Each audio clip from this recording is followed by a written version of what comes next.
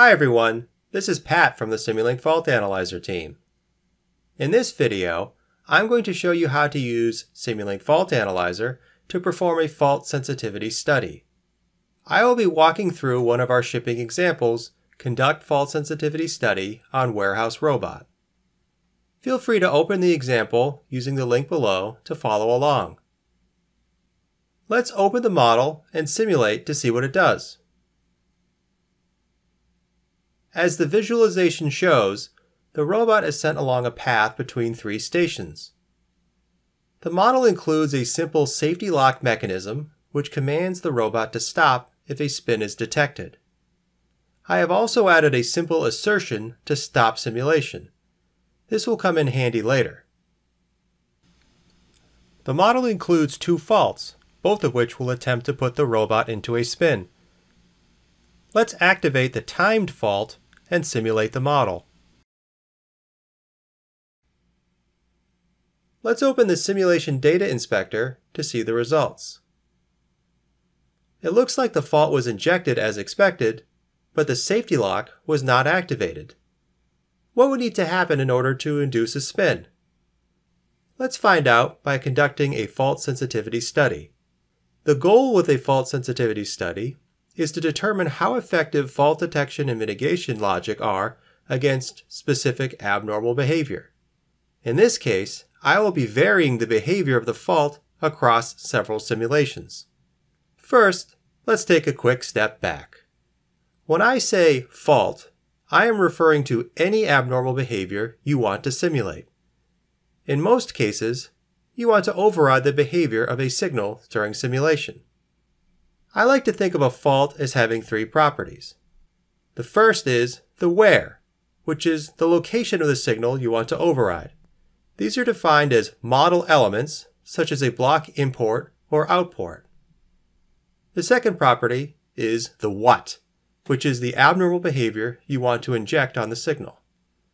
This is modeled in a separate file we call a fault model. The third property is the when, you can inject a fault at the beginning of simulation, after a given simulation time, or based on a system condition. If you combine all three, you have an instance of a fault. For any given model element, the where, you can have any number of associated faults with their own behavior and trigger settings. However, only one fault per model element can be active during a given simulation. Model elements are enabled faults are activated. Let's go back to how to set up a fault sensitivity study. Recall that my goal is to vary the fault behavior, or the what. To do this, let's open the fault behavior for the timed fault. The behavior is simply a gain applied to the angular velocity. The gain has been parameterized using a base workspace variable, which I can vary across simulations.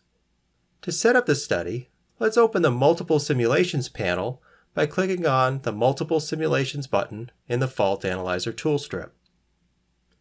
The Multiple Simulations panel lets you set up design studies. We can add faults to a design study. Let's first create a design study which I'll call Angular Velocity Fault Study. Now, let's click on the button with the fault icon to add the set of faults associated with the model. The angular velocity timed spin fault is set as the active fault. We also need to add the base workspace variable, angular vel fault gain, to the study and set its values as an array from 2 to 5 in increments of 0.2. Note that the number of simulations automatically changes to 16. Before I run the simulation, I want to highlight something I briefly mentioned before the assertion in the safety lock mechanism.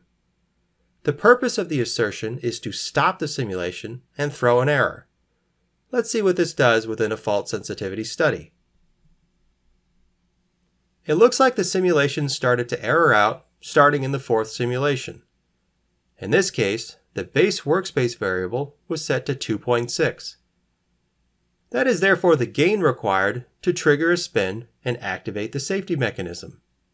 Where could you go from here? In addition to the fault behavior itself, you can also vary the specific time a fault is triggered. This can be accomplished using the Simulink Fault Analyzer APIs. Let's review. In this video, I showed you how to set up a fault sensitivity study.